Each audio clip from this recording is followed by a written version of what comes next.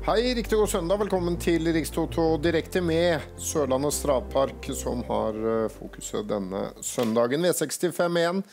Der har vi en, eh, et mulig bankerspill i lokalet. Johan Kringland Eriksens Kringlands Kringelands Nehemia. Litt uviss form.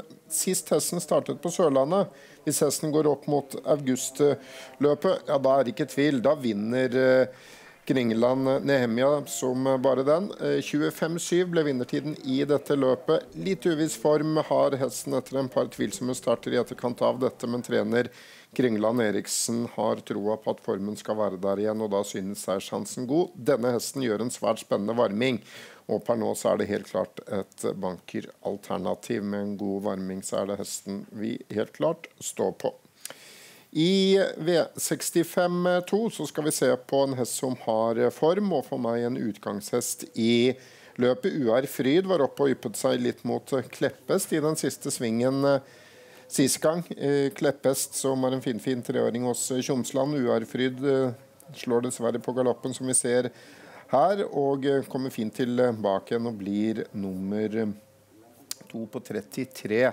8,8 og hadde vel fulgt Kleppes til døren slik det så ut. Så UR Fryd, det er min helt klart eh, første hest på bongen og en utgangshest for meg. Så har vi et svært spennende løp da, i V65 3 med hester som vi ikke kan så veldig mye om. Geir Mikkelsen, en trener som stort sett alltid leverer bra med hestene sine. Drar ut en hest som heter Song of Rat Race, en treåring etter SJs foto med prøveløp på 18,8. Hva kan den?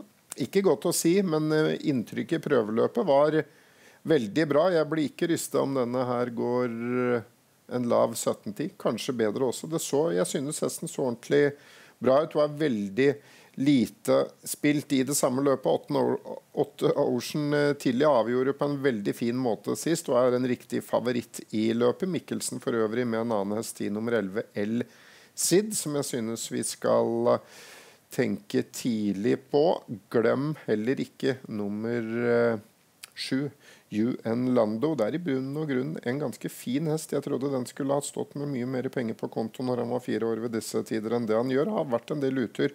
Hesten er ikke så vers, så ikke glem han helt. En uh, mengde fine løp på Sørlandet har vi. I fjerde, femte og sjette avdeling så har vi også ganske fine spilløp. Kavaleren i den femte avdelingen, han er den store favoritten i feilfri utgave. Ja, da vinner han eh, normalt. I fjerde avdeling så synes jeg spillet er litt skjevfordelt. Glem ikke tolv Lykkjeproffen til Jan Rune Gaustad. En veldig fin hest som er på vei opp. Ni Kleppe best, som vi så i dette klippet, er kun et andrevalg av en 23 råd i finalen. 12 Andy Nips kun et tredjevalg i spillet. Han er den beste hesten, mener jeg. Det var litt om mine tanker opp mot dagens V65 på Sørlandet. Lykke til.